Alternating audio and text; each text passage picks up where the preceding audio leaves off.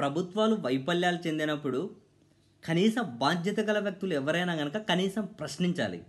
అది వైఫల్యము అని చెప్పి కనీసం పది మందికైనా తెలియజెప్పే ప్రయత్నం చేయాలి.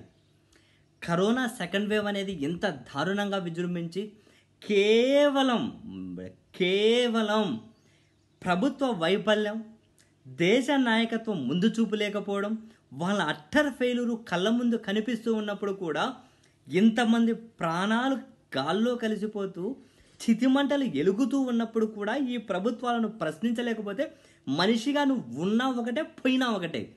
వినడానికి కొంచెం కఠినంగా ఉన్నా కూడా ఇది ముమ్మాటికి నిజం కూడా.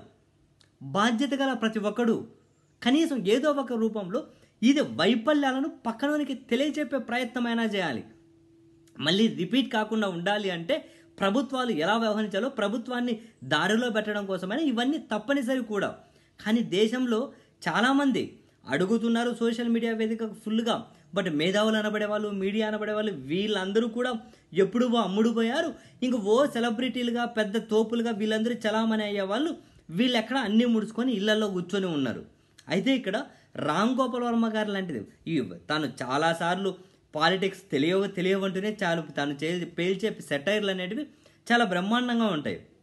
అయితే ఈసారి డైరెక్ట్గా ప్రధాని నరేంద్ర మోదీ గారి టార్గెట్గానే తాను పేల్చుతున్నటువంటి పంచులు తాను సంధిస్తున్న ప్రశ్నలు ఆర్జీవీలో ఉన్నటువంటి ఒక ఇంటెలెక్చువల్ని మరొకసారి తట్టి లేపుతూనే ఉన్నాయి. వరుస పెట్టి కంటిన్యూయస్గా ప్రభుత్వ వైఫల్యాలను ఎండగడుతూనే ఉన్నారు. ఆర్జీవీ లాంటి వ్యక్తే కాదు అటువంటి ఆ స్థాయిలో ప్రభావితం చేయగలిగే వాళ్ళు ఎవరున్నా కూడా ఈ పని చేసి తీరాలి. దేశం అనేది ఎంత దారుణమైన పరిస్థితుల్లో ఉన్నప్పుడు కూడా దేశంలో ఏం జరుగుతుందో మాట్లాడకపోతే ఎలా? రామ్ గోపాల్ వర్మ ఎవరైనా ప్రధాని నరేంద్ర మోదీ గురించి ఒక మాట మాట్లాడాలంటేనో తనను ప్రశ్నించాలంటేనో ఏమో వణికిపోతున్నట్టు వణికిపోతుంటారు జనం. జనం అంటే కొందరు సెలబ్రిటీ అనబడే వాళ్ళు ఇంకోరు ఇంకోరు. ఎక్కడ ఆయన వ్యవస్థలన్నింటినీ ఆ ఈడీ సిబిఐ ఆ ఇన్కమ్ ట్యాక్స్ అనే వాళ్ళని వీళ్ళ మీద పంపిస్తారేమని చెప్పి చాలామంది భయపడుతూ ఉంటారు. ఇంకా రాజకీయ నాయకుల పరిస్థితి కూడా అదే. వాళ్ళను గట్టిగా అడుగుతున్న వాళ్ళు కూడా ఎవ్వరు లేరులేండి. ఇటువంటి పరిస్థితుల మధ్య రామ్ గోపాల్ వర్మ లాంటి వ్యక్తి కూడా అసలు ఇంత నిజాలను నిర్భయంగా తన ట్వీట్ల రూపంలో ప్రశ్నిస్తుంటే నిజంగానే మొనగాడివయా నువ్వు ఇటువంటి అప్పుడు మౌనంగా ఉన్నంతటువంటి క్రిమినల్ ఇంకొకరు ఉండరు. ఇటువంటి అప్పుడు మౌనంగా ఉండడం అంటే అంతటువంటి క్రిమినల్ యాక్టివిటీస్ మరొక యాక్టివిటీ ఉండదు. ప్రజలందరూ కనుక ఇంత దారుణంగా అయిపోతున్న పరిస్థితుల మధ్య ప్రశ్నించకపోవడం ఏంటి? రామ్ గోపాల్ వర్మ సంధిస్తున్న ప్రశ్నలు కనుక మనం చూస్తే వరుసగా ట్వీట్లు నిన్నటి నుంచి మొదలుపెట్టినా కూడా నిన్నటి నుంచి మొదలుపెట్టినా కూడా వరుసగా తన ట్వీట్లు చూడండి. ఎంత ఎంత బ్రహ్మాండం. తను అడుగుతూ ఉన్నారు కూడా. ఏమని? విదేశాల నుంచి మనం మెడికల్ ఇన్ఫ్రాస్ట్రక్చర్ని అడుక్కుంటూ ఉన్నాం. బెగ్గింగ్ అదే పదం యూజ్ చేశారు. అడుక్కుంటున్నాం దీన్నే ఆత్మనిర్భర్ భారత్ అంటారా సార్? అని చెప్పి డైరెక్ట్ నరేంద్ర మోదీని ట్యాగ్ చేసి అంటారా సార్ అని. తర్వాత నరేంద్ర మోదీ ఇంతకు ముందు ప్రతిదీ కూడా ఒక ప్రధాని హోదాలో ఉన్న వ్యక్తిగానే ఆయన మాట్లాడే మాటలు ఎంత దారుణం ఆయన అయితే. ప్రధాని అన్న సంగతే మర్చిపోతుంటారు ఆయన. అంత దిగజారి వ్యాఖ్యలు చేస్తుంటారు చాలాసార్లు. తాను చేసిన ఒక కఠినంగా చూసుకుంటూ ఆ భగవద్గీత వల్లనే మనం కోవిడ్ను జయించాము అని చెప్పి ఇంతకుముందు నరేంద్ర మోదీ ఏదో ఎన్నికల ర్యాలీలో చేసినటువంటి ఒక స్టేట్మెంట్ని ట్వీట్ చేసుకుంటూ మరి ఇప్పుడు ఏ ఏ ఏ గీత చెప్పింది సార్? విదేశాల నుంచి అన్ని దిగుమతి చేసుకొని విదేశాల మీదనే మనం ఆధారపడి విదేశాల నుంచి ఇవన్నీ తెచ్చుకొని మనం ప్రాణాలు దక్కించుకోవాలని చెప్పి ఏ గీతలో ఉందో అది కూడా చెప్పండి అని చెప్పి అడిగిన. అండ్ సోనియా గాంధీ గారు ఇంతకు ముందు చేసిన వ్యాఖ్యలను రెఫర్ చేసుకుంటూ ఏడు సంవత్సరాల క్రితమే సోనియా గాంధీ గారు చెప్పారు నరేంద్ర మోదీ దేశ ప్రజల ప్రాణాలను తీసేస్తారు. మీరు ఆయనకు ఓటు వేయకండి అని చెప్పి ఆమె అప్పుడే చెప్పారు. ఆమె విజనరీకి ఆమె ముందు చూపుకి నిజంగానే నేను శాల్యూట్ చేస్తూ ఉన్నాను. మేడం మీదేమైనా కనుక పాదాలు మీ ఫుట్ ప్రింట్స్ ఏమైనా పాదాలు ఏమైనా ఉంటే నాకు పంపించండి పెట్టండి అక్కడ. డిజిటల్గానే మీ పాదాలకు నేను మొక్కుతాను అని చెప్పి ఆయన వేస్తున్న ఇవన్నీ ఇవన్నీ కనుక సెటైరికల్ నిజాలు కూడా పచ్చి నిజాలు.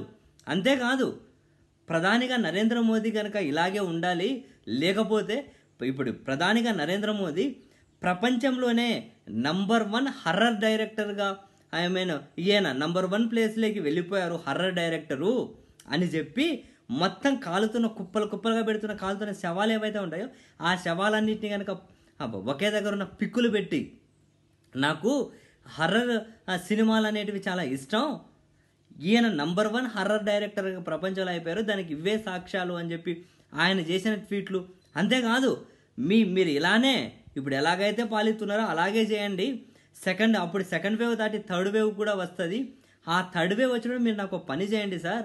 ఏం చేస్తారంటే మార్చురీ దగ్గర శవాలను కౌంటింగ్ లెక్క పెట్టే ఆ అకౌంటెంట్ జాబ్ నాకు ఇవ్వండి ఎందుకంటే నాకు శవాలన్నా హర్రర్ మూవీలన్నా భలే ఇష్టము. సో నేను శవాలను లెక్క పెట్టుకుంటూ ఉంటే నాకు అకౌంటెంట్ జాబ్ ఇవ్వండి అన్నారు. వావ్ ఎంత దమ్మున్న మాటలు ఇవి.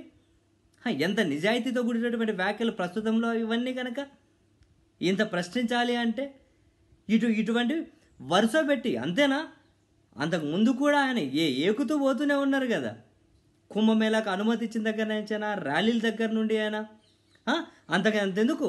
మధ్యలో ఒక మెజిస్ట్రేట్ ఒక ఆయన ఒక పెళ్ళిలో వెళ్ళేసి జిల్లా మెజిస్ట్రేట్ మిజోరాం దగ్గరే అనుకుంటా ఈశాన్య రాష్ట్రాల్లోనే. ఆయన పెళ్ళిలో వెళ్ళి ఆపేశారు కదా దాని మీద కనుక సెటైర్లు వేశారు. ఈ ఒక పెళ్ళిలోకైతే వెళ్ళి బాగానే ఆపేస్తున్నాం మరి ఎలక్షన్ ర్యాలీలోకి వెళ్ళి అందరినీ కాలర్ పట్టుకొని ఇలానే ప్రశ్నించగలవా? అని చెప్పి. నిజమే కదా? అఫ్కోర్స్ ఆ మెజిస్ట్రేట్ని నిన్న ప్రభుత్వం సస్పెండ్ చేసినట్టుంది. ఎందుకంటే వాళ్ళు అనుమతి తీసుకున్నారు తీసుకున్నా కూడా ఇలా చేశారు అని చెప్పి. సరే ఎనీహౌ ఇటువంటివన్నీ కనుక వరుసగా రామ్ గోపాల్ వర్మ పేలుతున్న ట్వీట్లు ఏవైతే ఉంటాయో ఈ ట్వీట్ల గురించి పెద్ద చర్చ జరుగుతూ ఉంది. అది అంగీకరించాల్సిన వాస్తవాలని చెప్పి నెటిజన్స్ నుంచి భారీ ఎత్తున మద్దతు వస్తూ ఉంది. అండ్ నిన్న తాను చేసిన ట్వీట్ ఇంకొకటి చూడండి. దీదీకి దీది అనేది ఒక సినిమా అని చెప్పి ఏమంటారు?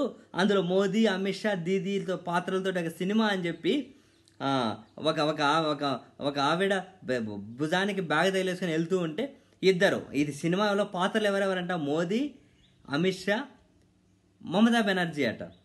ఒక ఆవిడ బ్యాగ్ తగిలేసుకొని రోడ్డు మీద వెళ్తూ ఉంటే ఇద్దరు బైక్ మీద వచ్చేసి ఇద్దరు. ఆమె బ్యాగ్ గుంజుకొని పోయే ప్రయత్నం చేస్తూ ఉంటారు. ఆమె బ్యాగ్ దూరంగా ఇసిరేసి వీళ్ళిద్దరు ఆ బ్యాగ్ కోసం పరిగెడితే ఈమె ఏం చేస్తుంది నెక్స్ట్ ఈ బైక్ గుంజుకొని వెళ్ళిపోతుంది. బైక్ గుంజుకొని వెళ్ళిపోతుంది.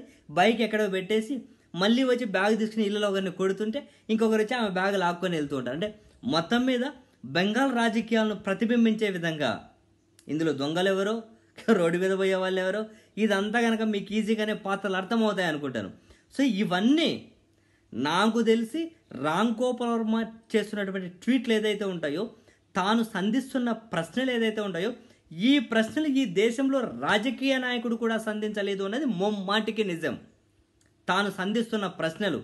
సో ఈ ఓవరాల్ ఎపిసోడ్లో ప్రభుత్వ వైఫల్యాలను సెటైరికల్గానో పంచుల రూపంలోనో ఈ మ్యామ్స్ రూపంలోనో రామ్ గోపాల్ వర్మ దేశ ప్రజలకు తెలియజెప్పే ప్రయత్నం చేయడంలో మరో సెలబ్రిటీ ఎక్కడే కూడా దరిదాపుల్లో కూడా తన దగ్గరలో కూడా లేరు.